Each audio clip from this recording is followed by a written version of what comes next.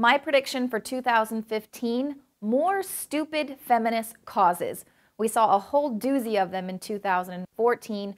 First, the hashtag activists set about to make George Orwell proud with the Ban Bossy campaign. Celebrities like Beyonce threw her weight behind the campaign to ban the word bossy. The idea is that girls are less interested in leadership because they're worried about being called bossy. So it's kind of insulting to imply that girls are this weak that they can't overcome the torture of a word. They just want to ban the word altogether. Despite the trauma of being called bossy when they were younger, all of the women featured in the campaign turned out to be incredibly successful in their own right. So it's less about protecting weak little girls and more about limiting thought, totalitarian state style. Meanwhile, the Iraqi parliament was preparing to pass a new law that would legalize rape, prohibit women leaving the home without the permission of their husband, and legalizing marriage to nine year old girls. There was no multi million dollar feminist media blitz to bring attention to this situation, nor did Beyonce back some heavy PSA to put pressure on the government of Saudi Arabia over their characterization of female drivers as potential terrorists. And there were all sorts of ridiculous things that feminists wanted to ban in 2014.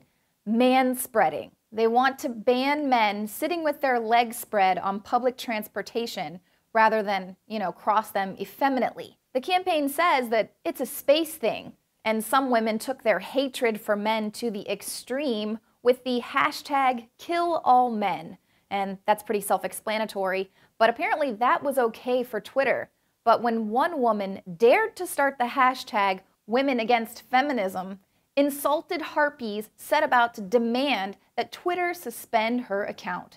Meanwhile, ISIS is asking Twitter for suggestions on how to kill a captured Jordanian pilot. No harpy rage there. But one thing that they didn't want to ban nipples. That's right, while women in Pakistan are being stoned to death for marrying men that their families didn't choose, the feminists of the free world are demanding that they be free to post nip pics on Instagram. Girls in the Middle East are being sold into sex slavery for as little as $10 by ISIS. But in a creepy call to have the freedom to post her nipples on social media, Miley Cyrus photoshopped an image of her childhood head attached to a grown woman's body. Yes, this is really the big freedom that feminists are fighting for. And what is it about clothing that is so offensive to feminists anyway? Who can forget Shirtgate? A scientist took a giant leap for mankind when he was able to achieve the first ever landing of a spacecraft on the surface of a comet. But he was promptly brought back down to Earth when feminists attacked his choice of clothing a colorful bowling shirt featuring scantily clad cartoon characters.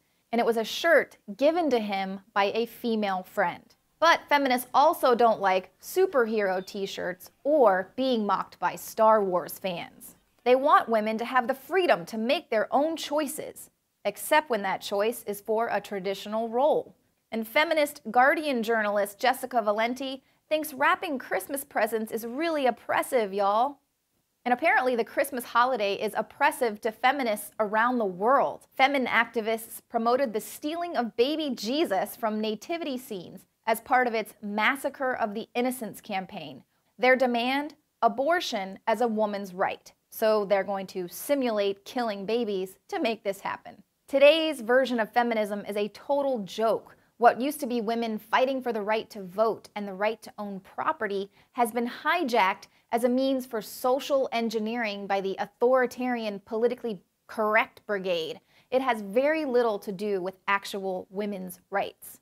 But since the word feminism has become a part of pop culture in 2014, and of course there's the ramp up for the 2016 elections with possibly two female contenders, I predict even more stupid feminist causes in 2015. These will be exploited to promote cultural Marxism, confuse gender roles, belittle men, and mislead women, all while completely ignoring genuine women's rights issues.